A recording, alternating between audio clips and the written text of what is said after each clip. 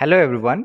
Today I am going to explain you how to use logic analyzer to check the output of sine wave.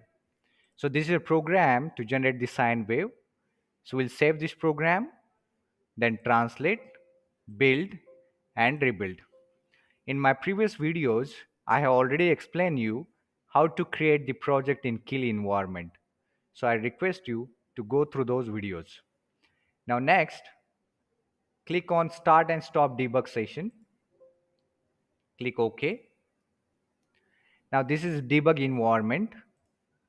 In the debug environment we have one option here analysis window. So click on it. Then we have a logic analyzer. Select it. So this is our logic analyzer. In the logic analyzer we have a setup option. Click it. In the setup you can see there is option available. There's, this is new or insert and this is delete. So we'll we'll click on new or insert and then we'll type the port name that is p1 the same port we have used in the program.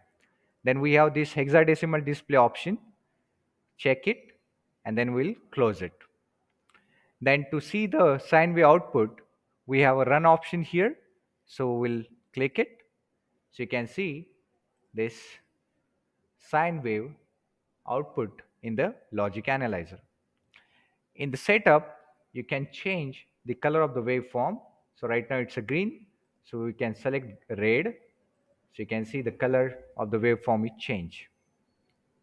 Then we have one more option here that is peripherals. So we can click on peripheral and IO ports, select the IO port. In the IO port, we have port P1. So you can see in the program, we are sending those values on the port P1. So I hope you have understood how to use logic analyzer to check the analog waveforms like sine, triangular.